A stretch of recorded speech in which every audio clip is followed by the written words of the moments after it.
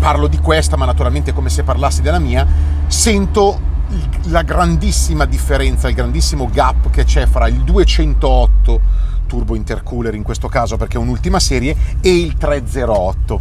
Io sono una delle persone che preferisce, che predilige, scusate, il motore aspirato, anche se comunque agli alti regimi questa va di più.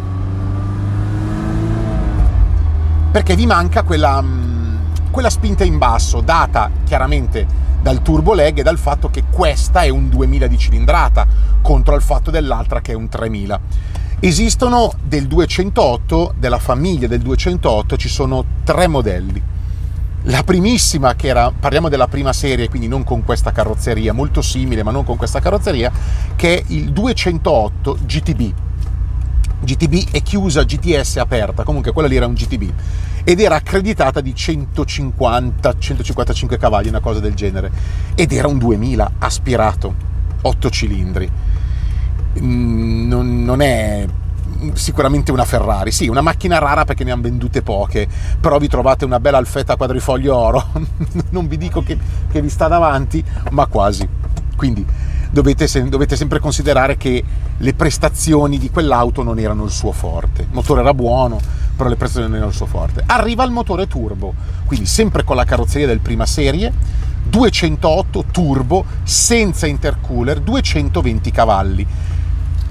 La, la, potenza cresce a dismisura perché parliamo di 65 cavalli di differenza circa e naturalmente cambia molto anche l'erogazione è penalizzata dal fatto dell'intercooler, quindi le macchine, le autovetture, una volta, adesso non esistono più, ma una volta esisteva la variante delle auto senza intercooler e oltre che avere qualche cavallo in meno, quei, quel qualche cavallo in meno rischiano di diventare molti, molti meno nel momento in cui si scalda l'aria, perché più si scalda l'aria e più naturalmente cambiano anche la, la dimensione dell'aria. Ecco, io ve la sto parlando in, in linguaggio molto semplice, quindi la resa del motore può cambiare drasticamente più la temperatura esterna è alta e più la, la, la, temperatura del motore si alza, quindi naturalmente l'aria diventa più rarefatta. Ecco. Invece le auto con l'intercooler, anche se posizionate in una maniera magari non felicissima, però era l'unico che potevano metterlo, quindi sopra le testate come questa,